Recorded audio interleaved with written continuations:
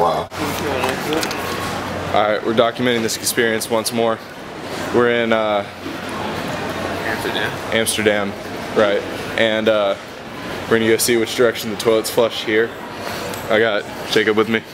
So, so it's gonna be interesting.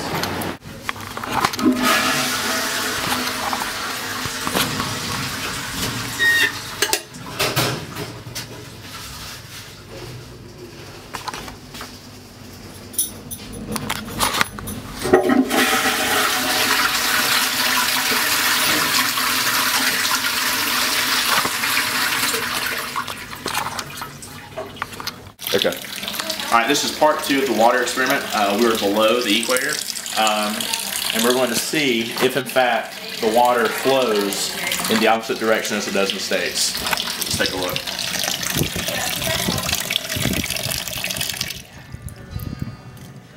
Alright, As you that is see- definitely clockwise. is absolutely clockwise. And uh, have we confirmed counterclockwise in the states yet? Um, we have not. We'll we'll get in touch with somebody back home just to confirm that. All right, we're, it's looking good though. So it looks like a successful trip. All right. Rooster.